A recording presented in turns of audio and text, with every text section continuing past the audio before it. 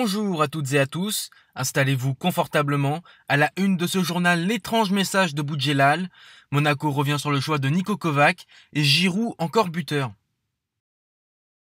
Johan Ryu harcelé. Le journaliste de la chaîne L'équipe a lâché une bombe sur les réseaux sociaux. À l'origine, un simple tweet élogieux sur Marcelo Bielsa, qui vient de faire remonter Leeds United en première ligue, 16 ans après sa relégation. S'ensuit une réponse d'un tweetos interpellant Gilles Favard, autre journaliste de l'équipe, sur le sujet. Et de là surgit l'inattendu. Un jour je raconterai ce que Gilles Favard m'a fait subir pendant une émission de l'équipe 21. Menace verbale de me faire taper sur la gueule. Je le raconterai, parce que personne n'a à subir ce que j'ai subi de sa part, a-t-il déclaré sur le réseau social. Avant de déclarer qu'il subit ce harcèlement depuis trois ans. Doté d'une grande cote de popularité, une vague de soutien a vite surgi pour aider Johan Ryu, et d'autres révélations ont eu lieu, comme celle de Cindy Colmenares, qui affirme avoir été harcelée aussi par Gilles Favard. Nous verrons ce que l'accusé aura à répondre. Boudjelal lâche un étrange message en compagnie d'Ajroudi.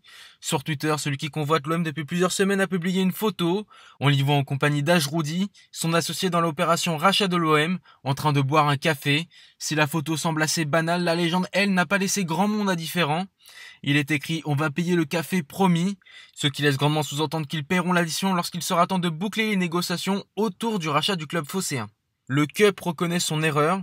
Le match du PSG a fait parler de lui, mais pas de la bonne manière, alors que les hommes de Thomas Tuchel se sont imposés sur le score de 7-0 face au Vaasland Bereven. Une scène en tribune a interpellé. On y voit les ultras du club parisien braver les règles sanitaires, tant l'engouement du retour des supporters au Parc des Princes était immense. Le président du collectif Ultra Paris a d'ailleurs tenu à s'exprimer sur le sujet. On a sous-estimé l'engouement qu'il allait y avoir. On s'est laissé aller par l'enthousiasme du match. On l'a très mal géré, je suis d'accord, mais on n'est pas irresponsable, a-t-il déclaré aux Parisiens.